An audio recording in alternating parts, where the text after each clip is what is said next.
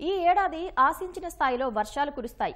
నైరుతి రుతుపవనాలు కూడా ముందే ప్రవేశించాయి అని గతంలో వాతావరణ శాఖ గొప్పగా ప్రకటించింది. కానీ రోజులు గడుస్తున్న కొద్దీ వర్షాల జాడ కనిపించడం లేదు. ఫలితంగా వ్యవసాయ పనులు ముందుకు సాగడం లేదు.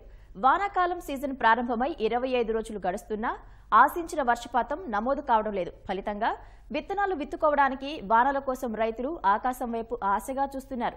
ఇక వాతావరణ శాఖ ప్రకటించిన సమయాల్లోనూ వర్షాలు పడటం లేదు.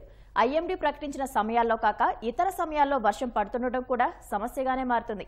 ముందస్తుగా చేసే సూచనలతో ప్రయోజనం చేకూరడం కాదు కదా నష్టాలు చవిచూడాల్సి వస్తుందని ప్రజలు వాపోతున్నారు. మరెందుకిలా? ఆశించిన స్థాయిలో వర్షాలు పడకపోవడానికి కారణాలేంటి? వాతావరణ శాఖ ప్రకటనల ప్రకారం వర్షాలు ఎందుకు కురవడం లేదు? ఫలితంగా రైతులు ప్రజలు ఎలాంటి నష్టాలు చవిచూడాల్సి వస్తుంది?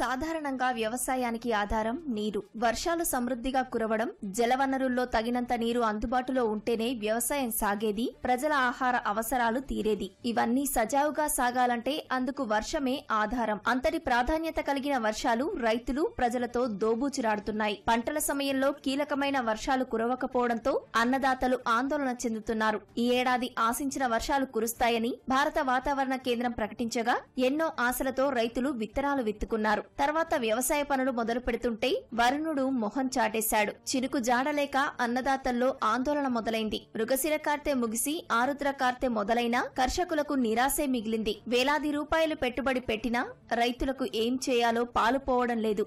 రెండు నుంచి మూడు రూపాయల వడ్డీ చొప్పున అప్పులు తెచ్చి పెట్టుబడులు పెట్టినా వర్షం కురవకపోవడంతో విత్తనాలు మొలకెత్తలేదు. దీంతో మరోసారి విత్తనాలు విత్తే పరిస్థితి రావడంతో అన్నదాతలు ఆందోళన వ్యక్తం చేస్తున్నారు. వర్షాలు లేక ఏంది? పంట పైరు ఏం వస్తలేదు.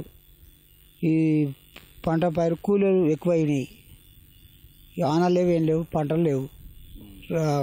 ఇది విత్తనం మంచిగా ఇస్తలేరు. క్వాలిటీ దొరకట్లేదు? ప- ఎక్కడ తిరిగినా అవే ఇస్తారు ఈ మందులు రేట్ ఎక్కువ అయిపోతుంది పెట్టుబడులు మస్తు అవుతున్నాయి కూలీలకే ఇప్పుడు ఆరు వందలు ఏడు వందలు ఈ మంచానికి పదహారు పదిహేడు వందలు. ఏం గిట్టుబాటు లేదు. పోయిన సంవత్సరం జర వర్షాలు ఉన్నాయి. ఇప్పుడు లేదు నిజానికి ఈ వర్షాకాలంలో సకాలంలో వర్షాలు కురుస్తాయని గతేడాది కంటే సమృద్ధిగా ఉంటాయని వాతావరణ విభాగం వ్యవసాయ శాఖ వెల్లడించడంతో రాష్ట్రంలో పత్తి రైతులు గంపెడాసలతో పత్తి సాగు చేపట్టారు. పొలాలు దున్ని పోటీపడి విత్తనాలు కొనుగోలు చేశారు. ప్రభుత్వం ఎకరాకు మాత్రమే విత్తనాలను డీలర్ల ద్వారా కొనుగోలు చేయించగా పలువురు రైతులు బ్లాక్లో సైతం కొనుగోలు చేశారు. కొన్ని జిల్లాల్లో వర్షాకాలం రాకముందే కొనుగోలు చేసి సిద్ధం చేసుకున్నారు. విత్తన ప్యాకెట్ల ధరలు పెరిగినా కొనుగోలు చేసేందుకు వెనకాడలేదు. ఐఎండీ ప్రకటనలను నమ్మి పెట్టుబడికి సైతం వెనకాడకుండా పంట సాగు మొదలుపెట్టారు. కానీ ఇప్పుడు ఆ పెట్టుబడి అంతా వర్షాభావం వల్ల వృధా అయిపోయిందని అన్నదాతలు ఆవేదన వ్యక్తం చేస్తున్నారు. వానకాలం సీజన్ అంటే ఇది ఇప్పటికీ నీళ్ళు ఇంకా గ్రౌండ్ లెవెల్ పెరగలేదు ఎక్కువ. మన అన్ని చెరువులు ఎండిపోయినాయి. కొంచెం వాటర్ లెవెల్ కూడా తగ్గింది. అయినా కాస్త కోస్త మాది కొంచెం బోర్ పోస్తుంది కాబట్టి నేను ఈ సన్న రకాలు ఎంచుకోవడం జరిగింది ఈసారి. ఎందుకంటే ప్రభుత్వం ఈసారి సన్న రకాలకు కొంచెం ప్రిపరేషన్ ఇస్తుంది కాబట్టి ప్రయారిటీ ఇస్తుంది కాబట్టి. దానికోసం ఎన్ను- ఎన్నుకోవాల్సి వచ్చింది. ఈసారి నేను డ్రమ్ షీడర్ తోటి వేద్దామని ఈ వరిమళ్ళు తయారు చేసి పెట్టిన. ఈ వర్షం పడుతుంది కాబట్టి కొంచెం ఆగాల్సి వచ్చింది నేను ఇప్పుడు. రాష్ట్ర ప్రభుత్వం కూడా సన్నాలకి సన్నాలకు జర ఐదు వందల బోనస్ ఇస్తుంది. ప్లస్ ఈ సన్నాలు పెడితేనే కొంచెం ఇది మన ఈల్డ్ ఎక్కువ వస్తుంది అనేది కొంచెం ఆలోచన వచ్చింది. సార్ నేను కొత్తగా ఏంటంటే ఈ డ్రమ్ షీడర్ తోటి వేద్దామనేసి ప్రయత్నం చేస్తున్నాను. ఎందుకంటే కూలీలు కూలీల ఖర్చు ఎక్కువ అవుతుంది ఇప్పుడు ప్రతి మనిషి మగ మనిషికి అయితే ఎనిమిది వందలు అవుతుంది. ఆడ మనిషి అయితే నాలుగు వందలు అవుతుంది. ఈ డ్రమ్ షీడర్ వేస్తే ఏంటంటే ఒకసారి మనం తుకం పోసి పీకి మళ్ళీ పెడితే అట్లా ఎక్స్ట్రా ఖర్చు అవుతుంది కాబట్టి డ్రమ్ షీడర్ తోటి వేస్తే కొంచెం మనకు టైం కలిసి వస్తుంది ఖర్చు తక్కువ అవుతుంది అనేసి మన అభిప్రాయం ఉన్నది. సార్ వానలు లేవు ఏం లేవు. పంటలు వేసుకున్నాం వెయ్యిలకు వేల గింజలు తెచ్చుకున్నాం. ఒక బ్యాగ్ కొనాలంటే వెయ్యి రూపాయలు. వర్షాలు లేక ఇబ్బందులు ఉన్నాం సార్. వానలు ఉన్నాయి వానలు ఉన్నాయి అని అంటున్నారు వాతావరణ శాఖలలో మరి మేమైతే పెట్టుకున్నాము. గింజలు అయితే పోయినాయి. ఇది రెండోసారి పెడుతున్నాము. ఇంకా వాన వేసిన ఒక్కటి కూడా లేదు. ఎండలు అంటే ఎండలు ఉన్నాయి ఎండలల్లా పనులు చేయస్తలేదు బాగా ఇబ్బందులలో ఉన్నాము. మేము బతికేది ఎట్లా మరి సార్? దేవుని కూడా దేవుడు కూడా కరుణిస్తలేడు. ఇప్పుడైతే ఆనలు లేవు ఏం లేవు. దున్నుకున్నాము అంత చేసినాము. ఒకసారి పెట్టినాము పెట్టినవి పోయినాయి మర్ర పెట్టినాము అయినా ఇంకా కొన్ని చినుకులు పడి ఆయనతో అవి పోయినాయి అవి పోయిన తర్వాత మర్ర పెడుతున్నాం కానీ దేవుడు వాడు ఆన కరుణించలేడు మా బతుకులేలు లేవు. దేశవ్యాప్తంగా కూడా జూన్ ఇరవై ఐదు వరకు ఉన్న గణాంకాల ప్రకారం పంతొమ్మిది శాతం లోటు వర్షపాతం నమోదైంది. చాలా వరకు ప్రధాన జలాశయాల్లో కొద్దిపాటి నీరు కూడా రాక ఖాళీగానే దర్శనమిస్తున్నాయి. కొందరు పత్తి సహా ఇతర పంటలు సాగు చేసే రైతులకు బావులు అందుబాటులో ఉన్నా తగినంత నీటి మట్టాలు లేక ఒకటి లేదా రెండు రోజులకు మించి నీటి తడి అందించలేకపోయారు. దీంతో విత్తనాలు మొలకెత్తలేదు. చాలా చోట్ల అద్దెకు ట్రాక్టర్ల ద్వారా లేదా బిందెలు బకెట్ల ద్వారా మోసుకువచ్చి నీరు అందిస్తున్నా పెద్దగా ప్రయోజనం ఉండటం లేదు. దీంతో మొదటి దఫా వేసిన విత్తనాలు మొలకెత్తని చోట రైతులు మళ్ళీ విత్తనాలను కొనుగోలు చేసి రెండో దఫా వేసేందుకు సిద్ధమవుతున్నారు. రాబోయే రోజుల్లో అయినా వర్షాలు పడితేనే పంట దక్కుతుందని లేకుంటే మళ్ళీ నష్టాలు తప్పవని రైతులు ఆందోళన వ్యక్తం చేస్తున్నారు. మొదటి దఫా ఎదురైన నష్టాలతో రెండోసారైనా ఎంతో కొంత భర్తీ చేసుకోవచ్చని అంటున్నారు.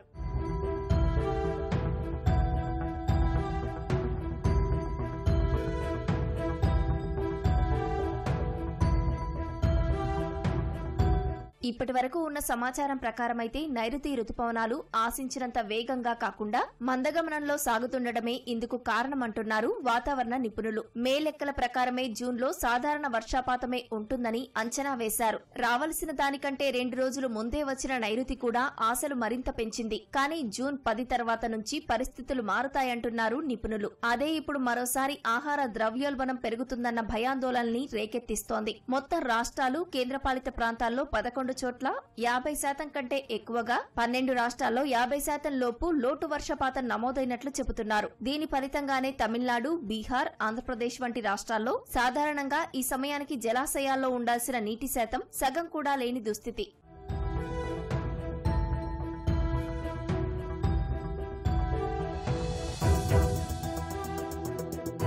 ఇప్పటికే దేశవ్యాప్తంగా ఆహార ద్రవ్యోల్బణం ఆందోళనకర స్థాయిలో ఉంది. రిజర్వ్ బ్యాంకు నుంచి పారిశ్రామిక వర్గాల వరకు ఆ సూచీలని చాలా జాగ్రత్తగా గమనిస్తున్నారు. కూరగాయల నుంచి పప్పులు ధాన్యాలు అన్నీ మండిపోతున్నాయి. ఇలాంటి పరిస్థితుల్లో వర్షాభావం మరిన్ని రోజులు కొనసాగితే ఇబ్బందులు తప్పకపోవచ్చని రిటైల్ విపణ వర్గాలు వాపోతున్నాయి. మరోవైపు వాతావరణ మార్పులు కూడా మానవాళితో చెలగాటమాడుతున్నాయి. కాలం కాని కాలంలో వర్షాలు కురవడం అసలైన వర్షాకాలం సీజన్లో వానలు పడకపోవడం లాంటివి వాతావరణ మార్పుల ప్రకారమే జరుగుతున్నాయని నిపుణులు చెబుతున్నారు. వానాకాలంలో సైతం భారీ వర్షాలు పడటమే అందుకు నిదర్శనం. ఈ తరహా పరిస్థితులు అటు ఎండాకాలంలో ఇటు వర్షాకాలంలో ప్రజలను ప్రధానంగా రైతులను ఇబ్బందులకు గురిచేస్తున్నాయి ఎండాకాలంలో పడిన అకాల వర్షాలు పంటను వర్షార్పణం చేసిన పరిస్థితులు చూశాం. అప్పుడు కురిసిన వర్షాలు రైతులకు కంటి మీద కునుకు లేకుండా చేశాయి. పంట కోతకు సిద్ధమైన వరి వర్షానికి తడిసి ముద్దవడంతో పాటు వరి ధాన్యం మొలకెత్తని పరిస్థితులు కూడా రైతులు నాడు ఎదుర్కొన్నారు. ఇప్పుడు అదే రైతులు వర్షాలు లేక ఆందోళన చెందుతున్నారు. వర్షం వస్తుంది. పంట సాగు సాఫీగా సాగుతుందని ఆశించి విత్తనాలు నాటిన కర్షకులు నేడు వర్షం కోసం ఆకాశం వైపు చూడాల్సి వస్తుంది.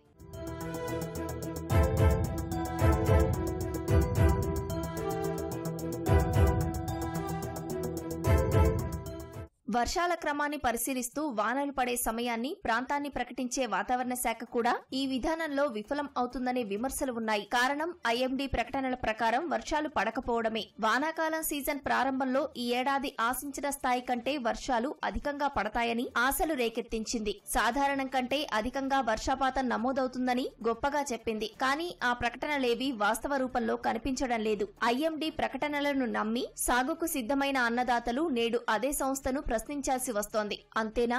రెండు రోజుల్లో వర్షాలు వస్తాయని ఐఎండీ వెల్లడించినా ఆ సమయాల్లోనూ వర్షాలు పడటం లేదు. ఫలానా ప్రాంతంలో మోస్తారు భారీ వర్షాలు పడతాయని చెప్పినా అది జరగడం లేదు. మోస్తారు వర్షాలు అన్న ప్రాంతంలో భారీ వర్షాలు భారీ వర్షాలు అన్న చోట మోస్తారు వర్షాలు కురుస్తున్నాయి. దీంతో వర్షం ఆధారంగా జరగాల్సిన పనులు ఆలస్యంగా జరుగుతున్నాయి. ఇందుకు నిదర్శనం జీహెచ్ఎంసీ ఐఎండీ పైన అసహనం వ్యక్తం చేయడమే అని వాతావరణ నిపుణులు అంటున్నారు. ఐ థింక్ సైంటిఫిక్ మోడల్స్ కూడా ఫెయిల్ అవుతున్నాయి అంటే వాళ్ళు ఆలోచన చేయాలి. వాళ్ళు ఏదో చెప్పాలని చెప్పడం కాదు ఇంకా రీసెర్చ్ అనేది పెంపొందించాలి. ఈ యొక్క గ్లోబల్ మోడల్స్ అని ఉంటాయి. సో దాన్ని ఇంకా పెంపొందించుకోవాలి. అంటే మనము దాని మీద ఎక్కువ వర్క్ చేయాలి. అప్పుడే ప్రెడిక్షన్స్ అనేది అవుతుంది సో వాళ్ళు చెప్పినందుకు వేసినాం అనేది ఏ అయ్యింది? మరి ఎవరు ఇప్పుడు రెస్పాన్సిబుల్ ఎవరు కంపన్సేట్ చేయాలి? ఏ ఇన్సూరెన్స్ కంపెనీ ఉంది కంపన్సేట్ చేయని? ఇండెక్స్ బేస్డ్ ఇన్సూరెన్స్ అని ఒకటి ఉన్నది. అని లేదనంటే ఎగ్జాక్ట్లీ నాకు ఇంత టెంపరేచర్ వచ్చినా ఇంత వర్షపాతం తక్కువైనా అంత పర్సెంటేజ్ పైసలు రైతుకు అందుతాయి. ఉన్నాయి. మరి ఆ మెకానిజమ్స్ ఇంకా పెంపొందిస్తే అప్పుడు రైతులు పోయి ఏనో రోడ్ల మీద నిలబడి లేకపోతే ఒక పొలిటీషియన్ వచ్చి నేను ఇచ్చిన వీళ్ళకు కంపన్సేషన్ అని చెప్పడము లేదా వరదలు వచ్చిన వాడికి హెలికాప్టర్ల మీద తిరిగినట్టు ఇలాంటివి నడవదు. సైంటిఫిక్ బేసిస్ తోటి మనం కంపన్సేటరీ మెకానిజమ్స్ కూడా ఇన్బిల్ట్ చేయాలి. నిన్నటి వరకు కూడాను ఒక ఉపరితల ఆవర్తనం అనేది తూర్పు మధ్య బంగాళాఖాతంలో ఉంది. అది ఈరోజు చూసుకున్నట్లయితే పశ్చిమ మధ్య బంగాళాఖాతం అలాగే ఉత్తర బంగాళాఖాతం పరిసర ప్రాంతాల్లో కేంద్రీకృతమైంది. దీని ప్రభావంతో నైరుతి ఋతుపవనాలు చురుకుగా ఉండే అవకాశం ఉంది. అంటే విండ్ స్ట్రెంగ్త్ అనేది పెరిగింది. సో దీని ప్రభావంతో రాగల మూడు రోజులు కూడాను కోస్తా ఆంధ్రాలో తేలిక నుంచి మోస్తరు వర్షాలు ఉండే అవకాశం ఉంది. నార్త్ కోస్టల్ ఆంధ్రప్రదేశ్లో అయితే కొన్ని ప్రాంతాల్లోనూ సౌత్ కోస్టల్ ఆంధ్రప్రదేశ్లో కూడా కొన్ని ప్రాంతాల్లో ఈ యొక్క వర్షపాతం అనేది ఉంటుంది. ఇలా వాతావరణ శాఖ సహా వానాకాలం ఆడే చెలగాటంతో అన్నదాతలు నిత్యం సవాళ్ళు ఎదుర్కోవాల్సి వస్తోంది. అవసరమైన సమయాల్లో వర్షం పడకపోవడం ఒక కారణమైతే అవసరం లేని సమయాల్లో వర్షం కురవడం మరో సమస్య. సాధారణంగా సీజన్ ప్రారంభంలో పంట వేసే సమయంలో వర్షం కురవాలని ఏ రైతైనా ఆశిస్తాడు. కానీ ఆ సమయంలో వర్షం కురవదు. ఇక పంట కోసే సమయంలో వర్షం కురవద్దు దేవుడా అని వేడుకున్నా అకాల వర్షాలు రైతు కష్టాన్ని నేలపాలు చేస్తున్నాయి. మరోవైపు గ్రామీణ ప్రాంతాల్లో నిత్యం మధ్యాహ్నం నుంచి మేఘావృతమై మబ్బులు పట్టి ఉంటున్నా ఆకాశం సాయంత్రానికి తేలిపోతోంది. వెరసి రైతులు నిరాశ చెందుతున్నారు. వర్షాభావం కొనసాగినా జులై మాసం రెండో వారం వరకు కూడా విత్తనాలు విత్తుకునే అవకాశం ఉందని వ్యవసాయ శాఖ అధికారులు శాస్త్రవేత్తలు చెబుతున్నారు.